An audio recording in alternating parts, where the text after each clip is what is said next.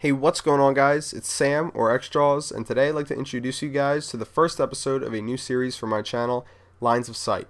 In this series, what I'm going to be doing is showcasing several different positions on the map that are very, very commonly used and very, very predictable. And then after I show you guys that position, I will then continue to show you guys positions that are not very common and do not leave you very vulnerable and are not very predictable for you guys to then use to counter the person in the defensive position that I showed you guys just a second before.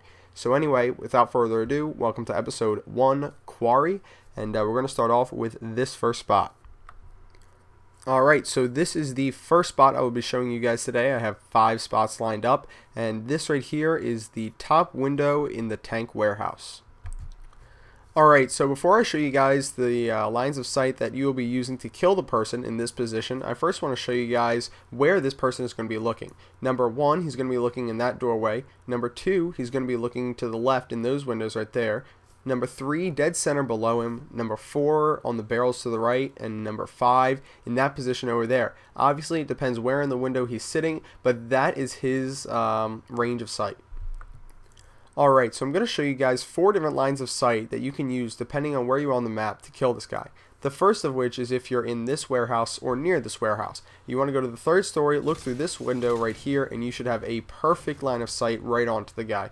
It's really effective, and the guy usually isn't looking there. It's not a very common spot, so you should be able to get away with it, get a free kill, and then continue about your uh, way and uh, continue on your kill streak.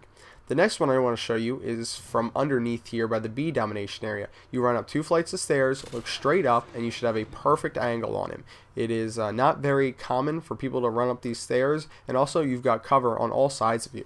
The third position I want to show you is if you're over here near this little dirt pathway, uh, what you want to do is run upstairs in this building right here, and what you're going to do is crouch right here and look through this window right here and uh, kill him. You should have another perfect line of sight right on him and uh, usually it's an easy kill because people don't usually expect you to be upstairs in this building. The last one I want to show you is a little bit tricky and uh, might take you more bullets than you probably want to use and doesn't always work. But what you want to try and do is uh, shoot right here in the building. And what I'm actually shooting at is barrels that are on the other side. And there are three barrels up there on that ledge with him. And if you can shoot those and explode them, uh, they will kill him. And uh, that's another good one.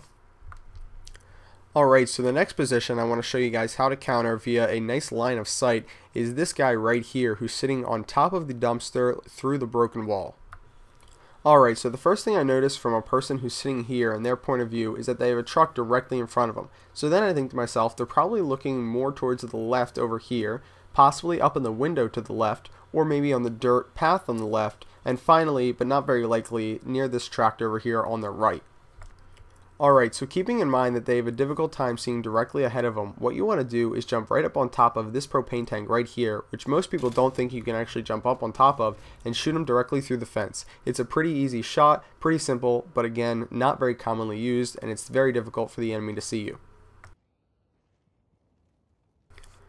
The next spot I want to show you guys is for shooting somebody off the spawn in search and destroy, or just shooting somebody in general on that position on the map.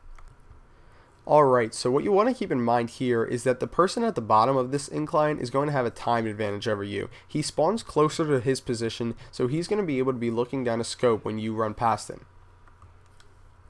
Alright, so what I recommend you do to counter this is run directly to your left as soon as you spawn, putting your head down, making yourself a smaller target, and then you should use your mini-map for direction to make it to this block right here, stand up on top of it, and you should have a perfect line of sight directly into their spawn. This should be an easy kill, and they will never see it coming. This next position that I'm going to show you works in all game modes obviously, but is most effective off the spawn in Domination. What I'm going to show you is how to quickly kill anybody running to B and not be predictable. So because most people will run directly into this building to your right here to kill people right off the bat in domination, what you instead want to do is run up on top of these blocks, jump onto this roof right here, and once on top you should have a good line of sight into the bottom crane building where B domination sits. You should be able to see them, and if you can't, remember that you can always shoot through the walls to see if they're hiding there too. The last position I want to show you guys how to counter is somebody standing in this doorway in the tank warehouse. So a person standing in this position is fairly limited in their range of view because of how narrow the doorway is and because they don't want to stand directly in the doorway, they usually like to feel that they're covered. So they'll either be looking below or above the catwalk to their left, in the right area, and seldom the left area over here. So the first line of sight I want to show you guys to counter someone in that position would be to run upstairs in this building all the way towards the back of the map right here, look directly above the block in front of you, and you should have a perfect line of sight to him.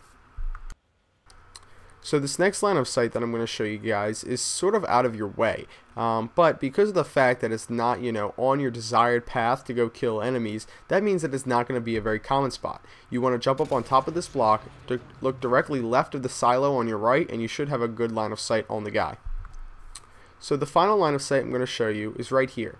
Put your back up against the silo and sprint jump on top of this red barrel. Then get on top of the block, do a 180, and you should have a perfect line of sight over the tarp to the guy in the doorway.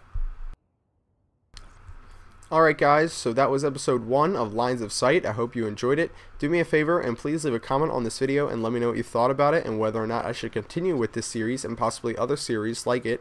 Uh, also do me a favor and please rate the video. Making this video was very time consuming, at least much more time consuming than my other videos, so I really appreciate it when you guys do stuff like that and it also lets me know that you guys want to see more stuff like this.